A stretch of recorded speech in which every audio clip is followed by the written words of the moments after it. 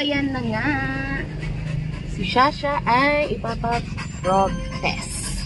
Dahil, ilang, beses, ilang araw na siya nagme-mens. Nag-start siya nag-mens nung 8. Ah!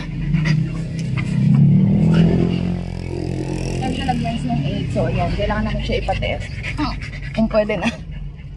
Kasi nung last time, hindi nabuo yung baby niya. So, yan. Naghintay kami ng ilang buwan na naman. Eh, sumabay pa nung nagbuntis ako. So, hindi siya naasikaso agad. Ayan na siya. Siya siya sit. Good girl. Mm. Hello.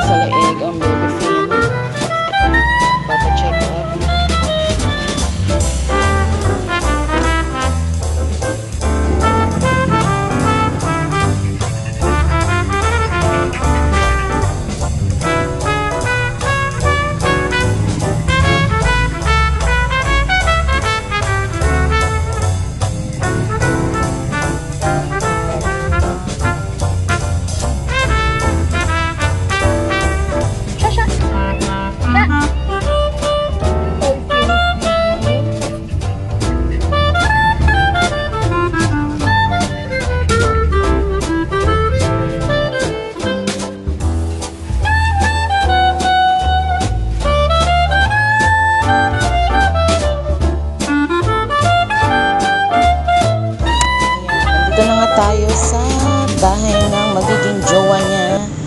Ito yung first night nung 17 din.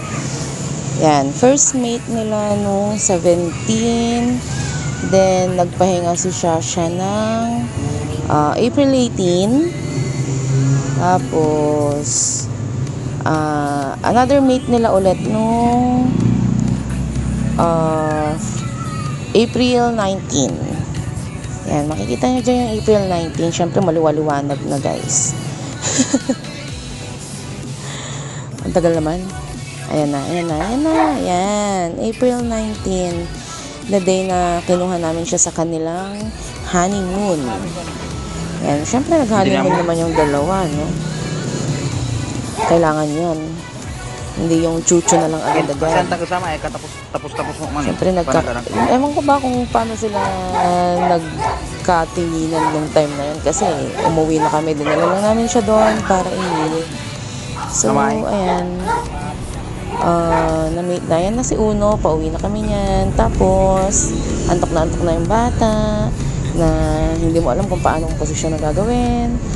Kasi, ayan si Finn. Si Finn kasi, kailangan, uh, pina-check up din namin siya sa animal clinic kasi nga nagkaroon siya ng bukol sa leeg. Pero ano naman siya, soft tissue.